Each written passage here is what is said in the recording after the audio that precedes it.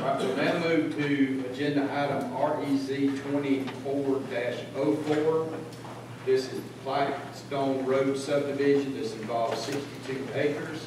It is currently R one. The request is for R ten, and it will be served by county utilities. Mr. Dillard.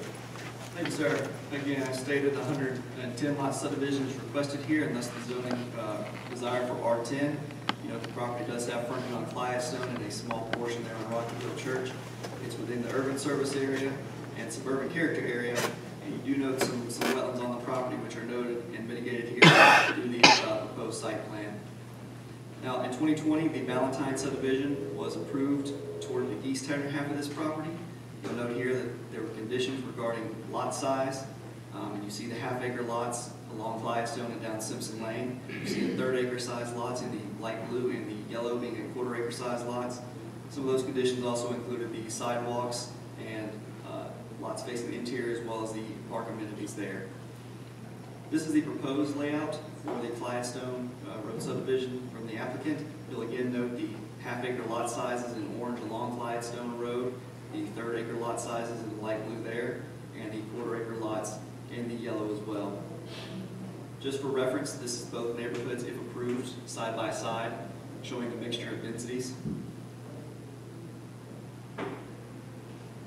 And again, the planning commission heard the request at their meeting. TRC analyzed the request and had uh, no concern from a technical standpoint.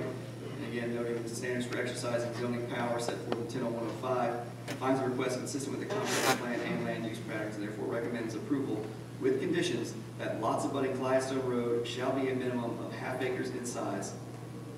That's what the planning commission recommended approval for, was that condition for R10. Any questions from Mr. Dillard?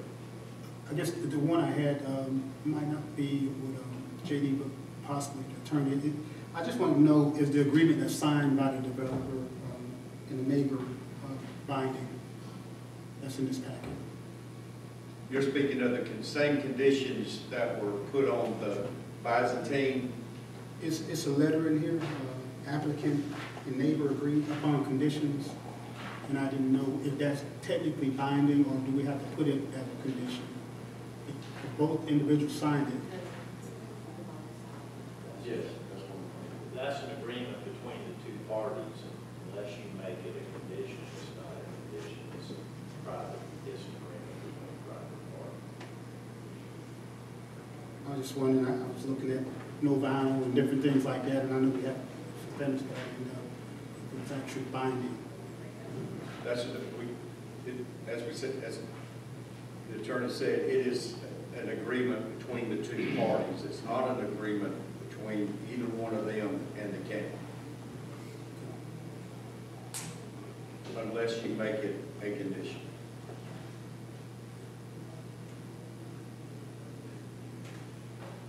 Are there any other questions?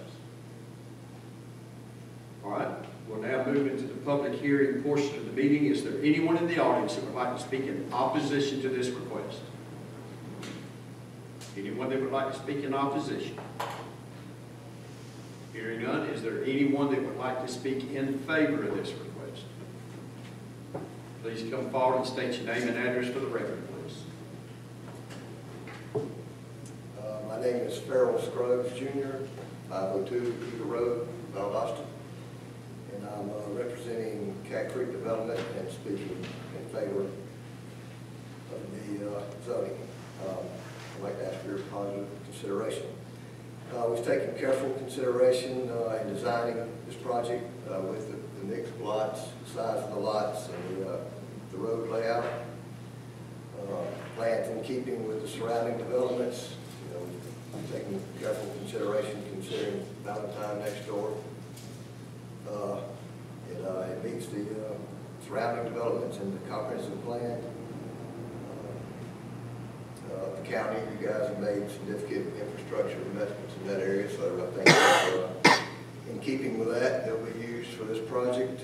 Um, I have worked with uh, Stephen Cooper, he's with Meadowwood Subdivisions, that's who's opposed the one last time. Um, And uh, I'm not sure who all he represents over there, but it's a a good, good many of them that live there. And uh, he and I have come up with the, the uh, the lot size mix and the square footage. Um, It's P and I who signed the the agreement.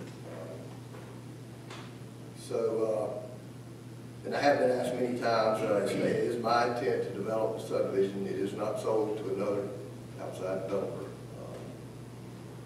Saying that can't change, but I have not been contacted and it is not sold. Um, So with that, available for questions. Any questions for Mr. Scruggs? Thank you, sir. Thank you. Is there anyone else that would like to speak in favor of this request? Please come forward and state your name and address for the record. Good evening, Stephen Cooper, forty-seven oh nine Summerfield Drive, as he mentioned, we worked together. We put this agreement together, the sign saying that we would have these conditions would be implemented into the sign if this was all approved. In the event, like you said, if it was sold to another developer, they would still have to by it. And he, we agreed that it would be done to keep in conjunction with what's going on now. Um, by things not being in writing before with Valentine subdivision, we almost run into a debacle with exterior finishes. Uh, Fortunately, we were able to resolve that, and we're trying to now just keep everything very consistent across the board so that all the development looks the same. So, I'm Hoping it can be made part of the condition, so that if it were sold, like I said, anybody else would have to abide by it. Any questions for Mr. Cooper? Okay, Thank you. thank you, sir. We still have about seven minutes. Is there anyone else that would like to speak in favor of this request? Okay, hearing none, we'll close the public hearing portion of the meeting because we had no one in opposition. Then we'll close the public hearing portion of the meeting. Commissioners, I'll turn it over to you for your consideration.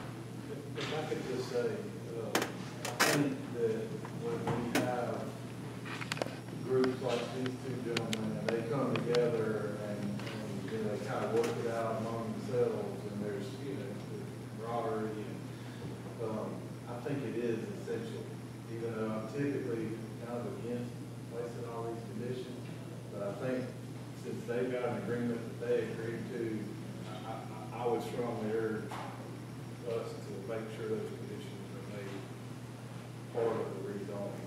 Because again, the last time, it was four or five houses built, there was a misunderstanding, and siding had to be replaced. So, If you're real quick, you'll have that opportunity. okay, well, if you're ready for it, then I'll make a motion. I second. All right, I'll call for a motion. I, I move that we approve with the conditions that were agreed upon between Cooper and Mr. Scruggs. In the agreement. In the agreement. Second. Do I have a second? Second. Have a second. Any discussion on that motion? hearing none, then I'll call the vote. Show of hands, all in favor signify by aye. Any in opposition? You and I in opposition? I'm in favor. You're in favor, so it's unanimous. All right, well, now